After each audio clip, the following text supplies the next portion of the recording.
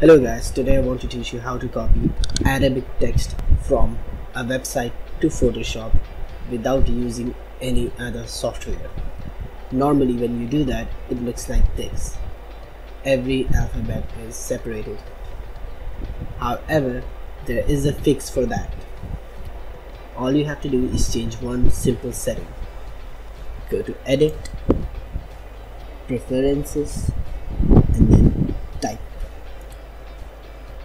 here you have to check Middle Eastern language. There. Now do remember this will not apply on your existing document. It will only apply in a new document. So press ok create a new document. Now when you copy the Arabic text control C it looks just right.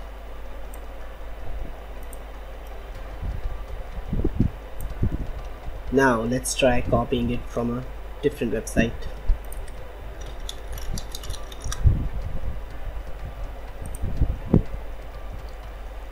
Let's try this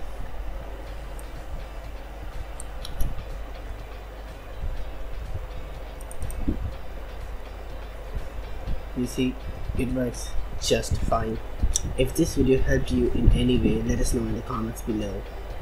And don't forget to subscribe and click the bell icon. See you in the next video